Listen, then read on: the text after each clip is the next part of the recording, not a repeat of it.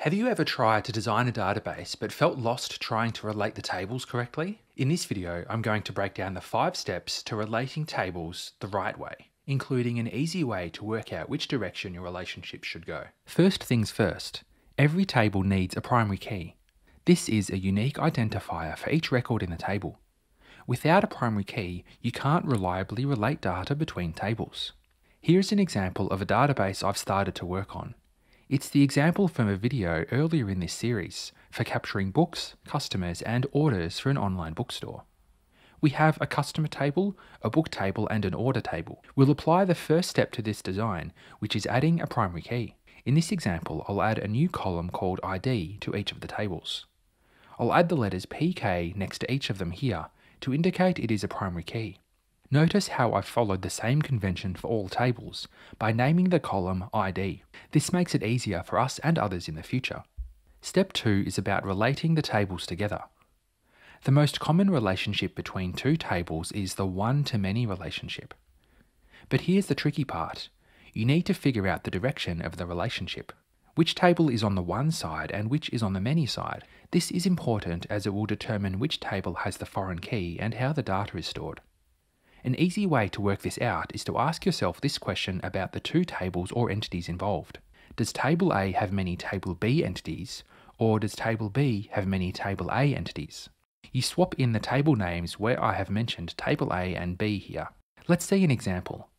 Two of the tables in our database design are customer and order.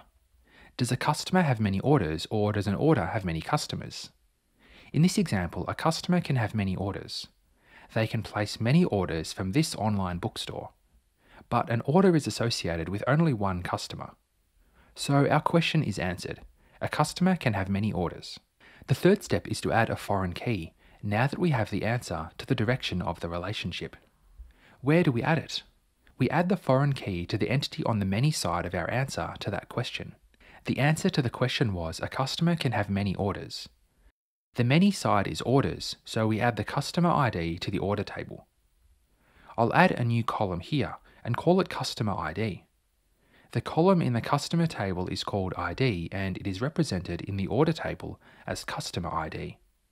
It's okay that these two columns have different names because they are representing the same thing. I can't call this column ID because we already have an ID column for the primary key of this order table.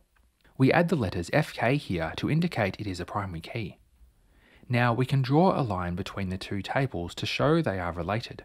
In Lucidchart, we draw the line from the primary key column to the foreign key column, like this. It now connects these two tables.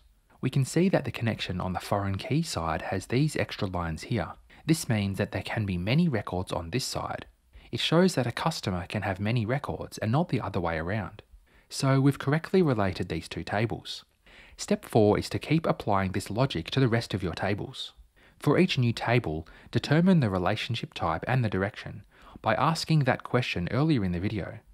Then add the foreign key to one of the tables and draw a line to connect them. This is how we relate the tables together in a database. It works for databases with two, three, and many more tables.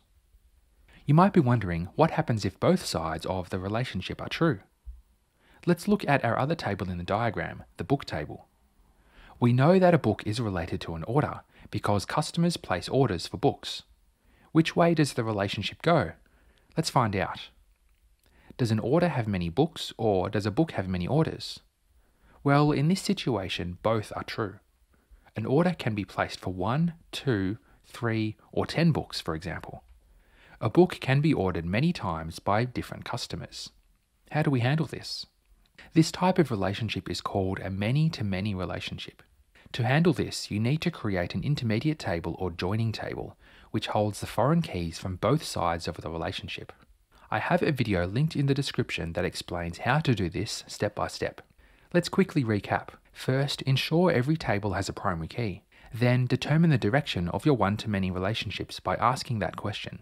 Step 3 is to add the foreign key table on the many side.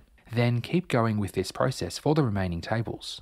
For a many-to-many relationship, you'll create a joining table to relate them. Now that your tables are related in your design, it's time to build your database using SQL.